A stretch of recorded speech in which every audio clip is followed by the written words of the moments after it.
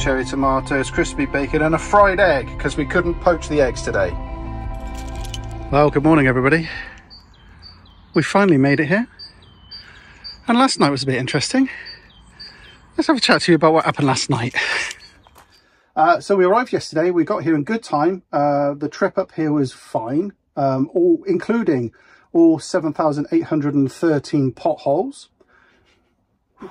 Um, lots of slow moving traffic, idiots on the Fosse Way which needed to get in front of the caravan because you know that's the law. If you ever see a caravan, you must overtake it clearly, no matter the consequence. There were plenty of that, didn't we? Yeah. Our first night last night, how did you get on in the bed? Fine, but it's usually night three that I have an issue.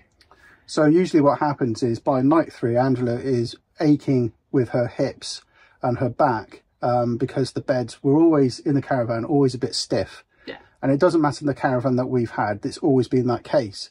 So by night three, Angela is moaning um, and struggling to walk around because she's, you know, seized up. Um, you suffer from sciatica for Yeah. many, many years. Uh, since Tom. Since- it's 25 years now. That's true. And also other compounded back problems as well, slip Yeah. discs, uh, prolapse disc. So um, I've had the first four slip discs from the base of the spine upwards. Yeah, yeah. Yeah. So she's an absolute delight to uh, live with. Um, meanwhile, on my side of the camp, I'm absolutely physically fine, aren't I? Yeah, right. I damaged my ankle whilst filling up the water yesterday. So Compensating for the damaged knee. because I've cracked my knee, I've damaged my knee somehow. It's just really aching bad. Um, uh, I got that from my father, I think. Thanks, Dad. and and whilst I was hobbling yesterday with my knee, I twisted my ankle whilst filling up the aqua roll. So I look like well, I look like a zombie, like walking like in a really stupid way. But uh, so that was yesterday. Last night was absolutely fine. Although we did have a little bit of a disaster. Now in our washroom, we have this lovely thing. We have a heated towel rail. Let's just take the towel off so you can see it. And it's lovely, except yesterday I noticed it was cold on the top, hot on the bottom. No problem, I thought. I'll just bleed the air out of the system using this bleed key, which I did. And a heck of a lot of air came out. A good chunk of air came out. And then the pink juice then started to flow lovely. And sure as eggs is eggs, that then started to fill up. Um, and it was very hot on the top. Problem solved. On the way back through to the living room, I thought I'd just check in on the fluid. And that fluid level was gone. You could barely see it just about this level here. To which I thought, oh dear, oh dear indeed. And that was a big problem because the next thing that happened was this. The furnace, which is under there, and the pump for the uh, the outer heating then started gurgling and was sucking in air. What happened is, whilst I had bled the radiator out and got rid of a lot of air, all the glyco had basically filled up that extra void where all the air was and had dropped into a very dangerously low area to the point where the pumps were now sucking in air into the system. So we thought we weren't going to have any heating or hot water last night because we can't obviously run the pump whilst it's not pumping glycol around the system. But thankfully, a quick Google around online, I found a local caravan service engineer and I basically explained the problem and I said, do you have any glycol that I can buy off of you? He said, yes, but you need to come to me. So we set off for a journey down to Gloucester uh, about 6.30 last night, set off down to see him. And indeed, he was an absolute star. And he sold us a bottle of glycol, 50-50 mix. He told us how to build it up. And so I made up a litre of that stuff, poured it in, and it took the entire lot. And as you can see from there, it's only halfway up. So by the time we got back, it was a good nine o'clock at night. We were both absolutely shattered. We sorted that out. We bled the system again because there was more air in it because obviously the pump had been sucking in air. We bled the system out. We went through all the radiators and it's absolutely fine, thankfully. And last night it kept us toasty warm and, and it's been great. Um, that's the disaster over and done with. So that was last night, and today we're now going to head off up to uh, Moreton Marsh in the town. Going to have a mooch about, maybe get ourselves a cup of tea, or coffee, or a pint, and uh, and that'll be us today. I think I'll give you a quick tour around this site because it's really lovely. We've been here once before, a long time ago. Very long time ago. Did we work it out? Was it 2016? It was around that sort of time. Chloe was still small. Yeah. I'll put up some pictures from Yeah. that now because something quite unusual happened to us when we were here before. Uh, somebody was walking around with a bird of prey round sight. Really odd. And I managed to get some photos of him. Um, and uh, it was a really odd thing. We were camped over the other side of this site. Yeah. And this has changed quite a bit since we were last here. Um, in fact, on our way out, let's go walk by them and I'll show you what I mean. What bloody idiot park like that? Massive pitch there, as you can see, but because we're on the corner, people like to kick in here a little bit, so that's why I put the car like that. But uh, very nice. Nice view this morning of a very frosty field. I must admit, for the end of January and for the weather we've had recently, this is lovely. You know, this campsite was completely full last night and again tonight, I believe. So you can just see there through the trees all the lodges here for Experience Freedom. I'm not going to have a closer look at these because the last time we were here, that was the dog walking area, I think, or a playground or a play field. There was none of this here. So I want to go and have a closer look at these things because I personally think these are a fantastic addition. So I'm guessing these are yurts. Must be. And then we've got safari tents. Yeah. And then we've got the Kids Adventure Playground. Kids Adventure Playground. That's a good playground. Hmm. Nothing like the playgrounds I had when I was a kid. Can you remember the slides that were 4,000 feet tall and that, that cone of death? The witch's hat, was it? Called it a roundabout? Oh my oh, God, lethal. On bare concrete and broken glass. now, I don't know what you guys think. I think these are a great addition to the great outdoors. Hmm. It means that people who don't own a caravan or a motorhome can experience the great outdoors. It means that if you want to go on holiday with a member of the family who want to be with you, but there's not enough room in the caravan or the motorhome, then you can hire out one of these. I think these are fantastic. So the reason why I've been switched on to these recently is a couple of weeks ago I got an email through from the Caravan Motorhome Club basically saying that they've now got a new membership for Experience Freedom only, which means that they get all the benefits that the Caravan Motorhome Club members get. It's the same price per year, but it's not tuned towards um, caravans and motorhomes, which, you know, if, if you haven't got one, you're not inclined to be really that interested. So, an Experience Freedom membership gives you all the benefits of getting one of these things at discounted price, tent pitch at discounted price, hiring of vehicles. It's really tuned for people who haven't got an outfit themselves but want to experience the great outdoors. Well, as luck would have it, Warden's just come round to clean one of the units and he's opened this one up for us so we can actually have a look inside. So let's have a look inside. How many people do these hold? Is it four? Four. So this is a four berth, four berth. These hold four occupants. So we've got a TV over here. These make up into the double beds, is that right? Yeah, yeah, I'll show you. Oh, thank you. That's all right, I've got to get it down anyway. Yeah.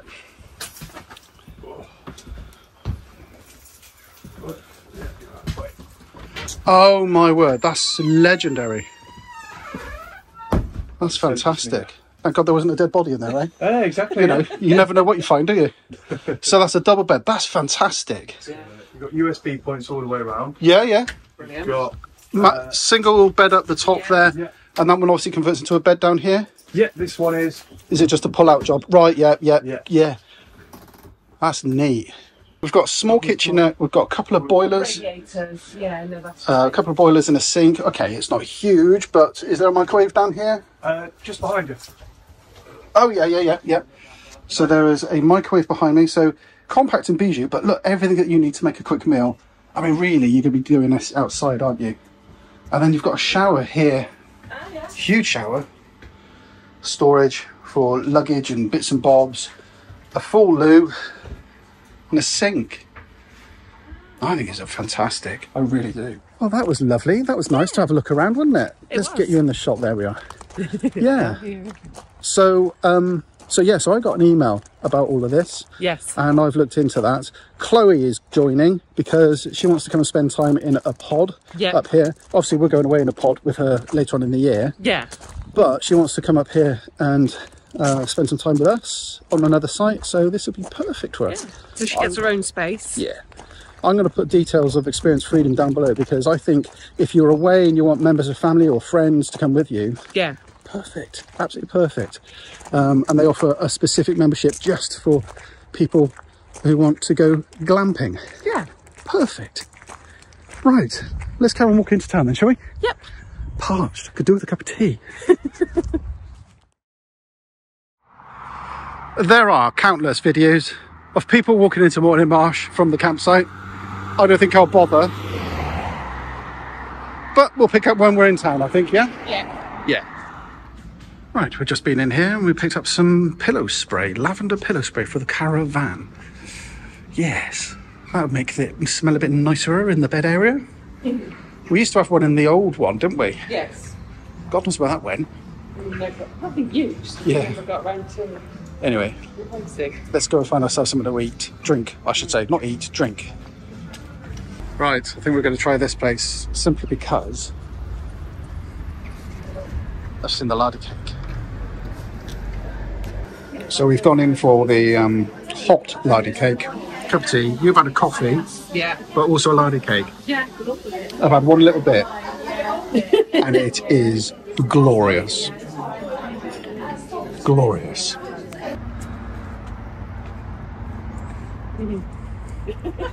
so,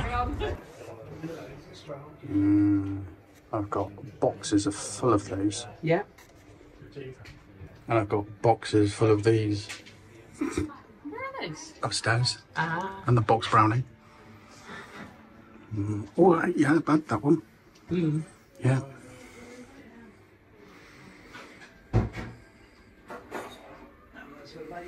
I know what you do need. Something you haven't got. What do I need? Right there. You haven't got one of them. No, not yet. Not yet. Not yet. Not yet. Give it time. Oh, I got my Grand Prix, one of those somewhere as well. Yeah. Can't remember where I've put that. Oh, God.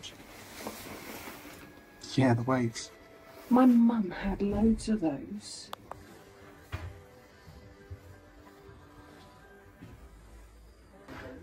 Snuffle boxes. The pencils for bridge. Oh, yeah, yeah, yeah. Yeah. Pillbox. Ideal for your aspirin and paracetamol. Yeah. Cool.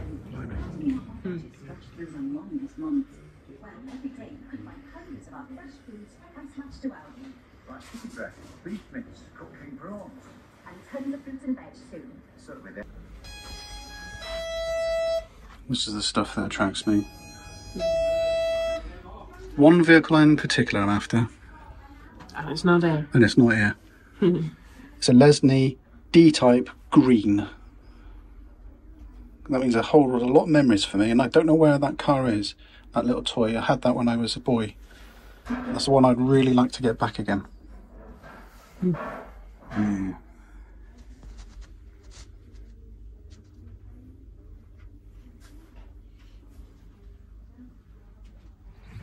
Just went into the uh, Cotswold cheese uh, shop, and all I can say is thank God I'm skint because I would have spent a fortune in there. There are some lovely things, and they had stinking bishop in there as well. Yeah. That wouldn't have gone well in the caravan. Yes, because we would have bought what? Loads of meat. A lot of meat, Yeah. some of the uh, chutneys, Chutneys, because they had some nice ones there. the toasts. yeah. Oh, they had a pot of uh, gentleman's relish there as well. Oh, yeah. oh, and that would have been beautiful. And then they had some nice port. Yeah. Well, you drink port, I don't. Well, no, I don't drink port. I'm given the dregs of the bottle of the very expensive port by my friends, and they let, make me neck it, and it's literally like a red powder. James. And then they sit there laughing at me because I'm going, this is gross. Yes. So anyway, thank God for poverty. that just saved my waistline a bit more. Yeah. So anyway, we're going back to the van now. and uh, you're going to read. Yep. I might play some games. Yeah, we're just going to chill out.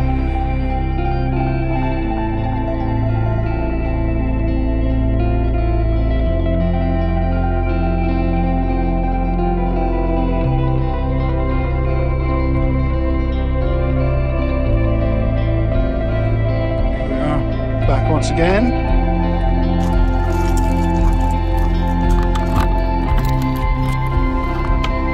After you, sweet.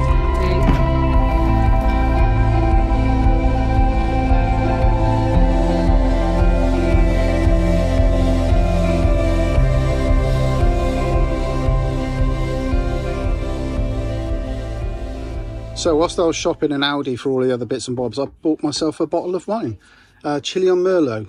Uh, very nice. It's going down super well, and because I don't drink anymore, I've had one glass and I'm feeling a little bit fruity. Like a pro, I've cut up some cheese, so it is like grated cheese, to go on top of the lasagne. and we're having a bago salad with tomatoes tonight. Yeah? Yes. That'd be fine. Yeah.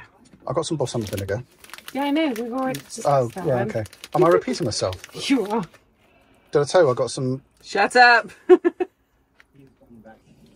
perfect? We did this before, didn't we? We did this in, um, was it Lady Margaret's we did this? Yes. Yeah, we did this before and it worked out so well yeah. that I just pre-made a lasagna bolognese a few days before. But what we did is we actually made it at home. Yeah, Yeah.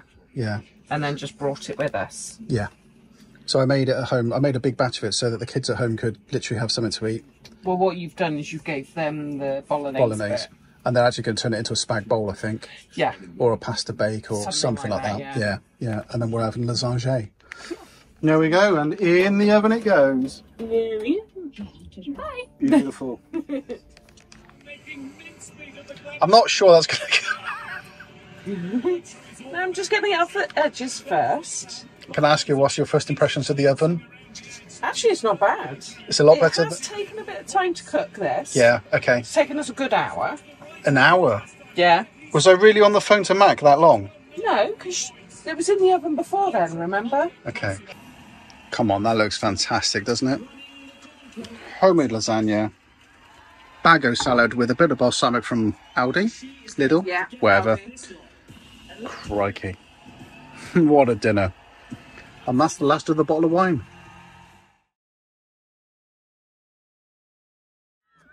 And I can't go. so I go like that, okay? Okay, I can't go, so I have to do that. Okay. Hmm? Then I go again. Mm-hmm. Okay. Mm-hmm. Okay. Mm-hmm. Mm-hmm. Okay, still can't go. No. Okay. Come on, I mean, Okay. of cards. Did, did you not shuffle properly again? Right. And then I'll go. Okay. We are. Okay. I can't go because I'm not fun.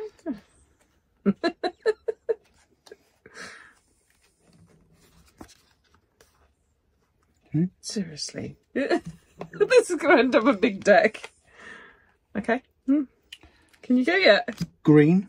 Green? That's fine. I can do green. Okay. Pick up two. I cheated that round, didn't I? Yeah. I'm probably not playing the rules to the best of my ability. I'm probably missed. No, there's a card on the floor just Oh, there. I thought so. I'm probably not doing as the best I could, but you know what? A win's a win. A win's a win. You know, a win's a win. Seeing as you couldn't take it when I won the first one. Listen, Argentina won the World Cup back in whatever it was with Maradona and the hand of God. I that was the hand of God right there. Yeah. Yeah. Right, and I think we're going to call it a night here. Then it is now almost eight thirty. Um, Angela's going to watch her casualty, much to the delight of everybody else. Such a wonderful program, that isn't it? So Angela's going to watch Casualty. I'm going to put my headphones on and I'm going to play some racing games on my Steam Deck Yeah. And uh, and then we'll probably go and turn in for the evening. So that'll be us done today. I don't know if I'm going to film much tomorrow, probably not. But if I do, well, you'll see us in the morning. Anyway, night night from us. Bye bye.